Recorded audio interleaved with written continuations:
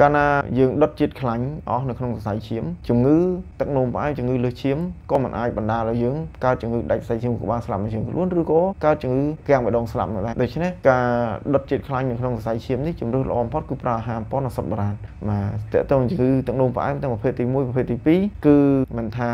កុមារមិនថាវ័យជំទង់មិនថាមនុស្សពេញវ័យមិនថាវ័យកណ្ដាលវ័យចាស់និងវ័យចាស់ជរានិងវ័យជរានោះទេទាំង3ទាំង4ទាំង5ក្រុមនេះគឺយើងអាចប្រើជាមួយនឹងអាហារអំពន់អសត់បុរាណបាទល្អបំផុតគឺអសត់បុរាណនេះតែម្ដងនៅក្នុងការទ្រទ្រង់គ្រប់វ័យទាំងអស់បាទវ័យកុមារវ័យជំទង់វ័យមនុស្សពេញវ័យឬវ័យកណ្ដាលហ្នឹងវ័យចាប់ពី45ទៅមនុស្សចាស់ចាស់ជរាជរា គឺអាចប្រើបានទាំងអស់ចូលទៅក្នុងប្រអប់សើរបស់ YouTube និងវាយពាក្យថាស៊ូសេងហួរសូមចុច Subscribe និងរកកណ្ដឹងដើម្បីទទួលបាននូវវីដេអូអប់រំថ្មីៗជាច្រើនទៀត